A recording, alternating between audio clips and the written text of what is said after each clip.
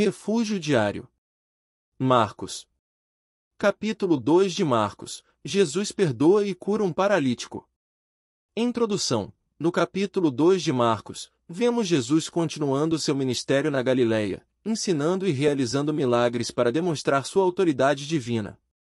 Este capítulo destaca o perdão de Jesus aos pecadores e sua capacidade de curar os enfermos. O milagre do paralítico perdoado, Jesus está em Cafarnaum e a multidão se reúne para ouvi-lo ensinar. Quatro homens trazem um paralítico até Jesus, mas, como não conseguem chegar perto dele por causa da multidão, eles o baixam pelo telhado. Jesus, vendo a fé dos amigos do paralítico, primeiro perdoa seus pecados, provocando a ira dos escribas presentes.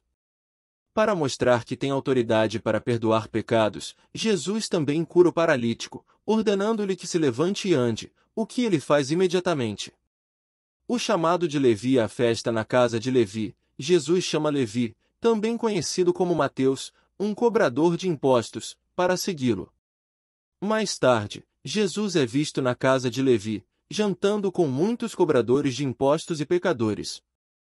Isso escandaliza os fariseus, que questionam os discípulos de Jesus sobre o porquê ele está comendo com pessoas consideradas pecadoras.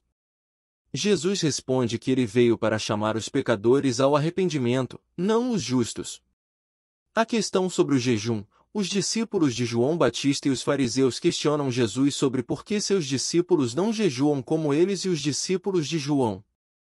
Jesus responde que enquanto ele está com eles, não é a hora de jejuar.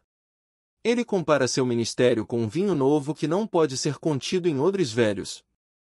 O sábado e as espigas arrancadas, Jesus e seus discípulos estão caminhando pelos campos de trigo em um sábado. Os discípulos começam a arrancar espigas e a comê-las, o que os fariseus consideram uma violação do sábado. Jesus defende suas ações, explicando que o sábado foi feito para o homem, e não o homem para o sábado. Ele é senhor até mesmo do sábado. A cura de um homem com a mão mirrada. Jesus entra na sinagoga em um sábado e encontra um homem com a mão mirrada. Os fariseus observam para ver se Jesus o curará no sábado, para que possam acusá-lo.